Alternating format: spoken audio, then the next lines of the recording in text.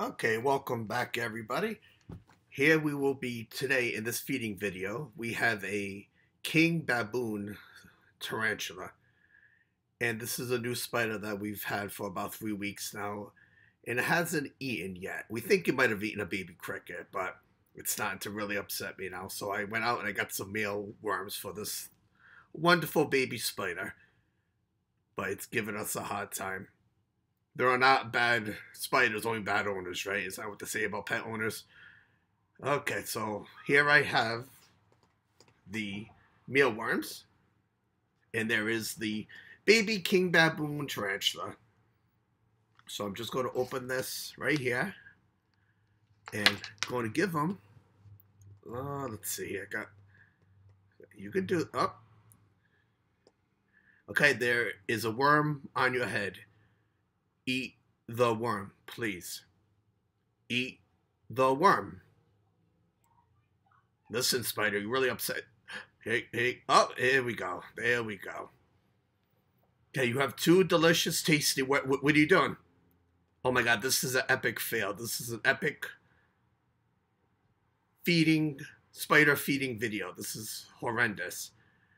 Okay. Let's get these back and we're going to try this again eat. Yeah, let's let's get you back out here a little bit. There we go. Okay. Thank God. Okay. Well.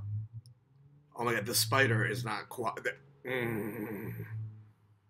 Okay, let's get you back out. Okay, here we go. Why would you not want to eat such a tasty, wonderful, delicious worm? What? Stop hiding. Oh my god, this is ridiculous. I'm really. Okay, this, we'll just leave this at epic fail.